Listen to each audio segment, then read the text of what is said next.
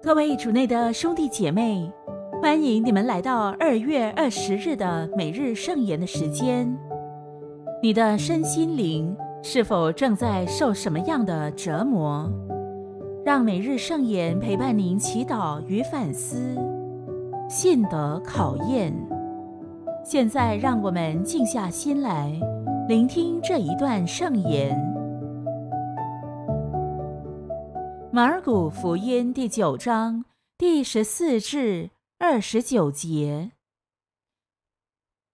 那时候，群众中有一个对耶稣说：“师傅，我带了我的儿子来见你，他附着一个哑巴魔鬼，无论在哪里，魔鬼抓住他，就把他摔倒，他就口吐白沫，咬牙切齿。”并且僵硬了。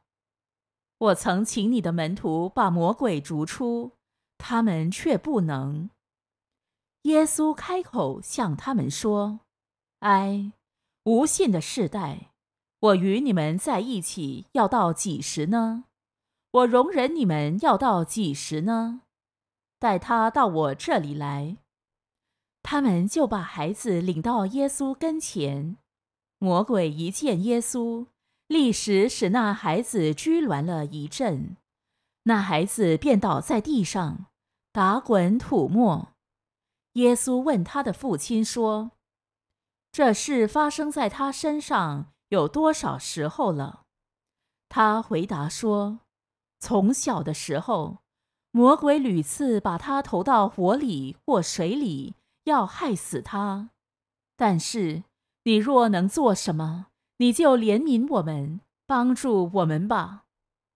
耶稣对他说：“你若能，为信的人，一切都是可能的。”小孩子的父亲立刻喊说：“我信，请你补助我的无信吧。”耶稣看见群众都跑过来，就斥责邪魔说：“又聋又哑的魔鬼！”我命你从他身上出去，再不要进入他内。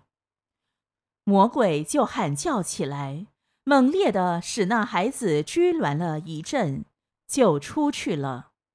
那孩子好像死了一样，以致有许多人说他死了。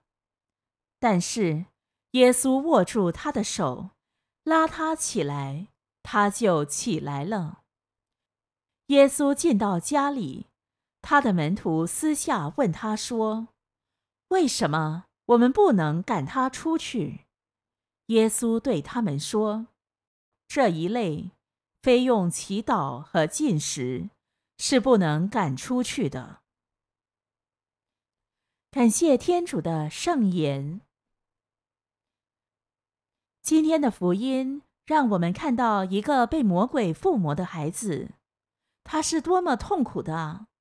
你目前的状态是为病痛所苦，心灵创伤、关系破裂、压力折磨，如那无法自救的孩子吗？还是眼见至亲好友受苦，担心焦虑，四处寻求良医的那位父亲呢？或者比较像古道热肠、行侠仗义？却无法完全排忧解困的懊恼门徒呢？虽然我们都有信仰，但不一定具备足够的信德，累积太多不成功的经验，不相信自己配得天主无条件的给予。有句古言：“天助自助者。”我们常认为要自己先努力，想办法克服困难，当无计可施时，才求主的指引。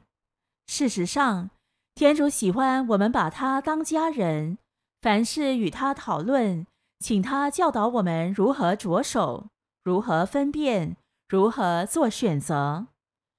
福音中的父亲为了孩子恳求耶稣：“你若能做什么，你就怜悯我们，帮助我们吧。”虽然门徒驱魔无效，让他患得失望，但他愿意为了孩子。在谦卑求耶稣怜悯，同时承认自己的软弱。我信，请你补助我的无信吧。我们都在学习成为信德坚强的基督徒。跌倒了没关系，只要目光放在主的身上，方法可以改变。康复之路需要时间，也有挣扎。有时我们像看热闹的群众，未见立即的改善就下定论，如众人说他死了。我们要谨记，福音的结局是耶稣握住孩子的手，拉他起来。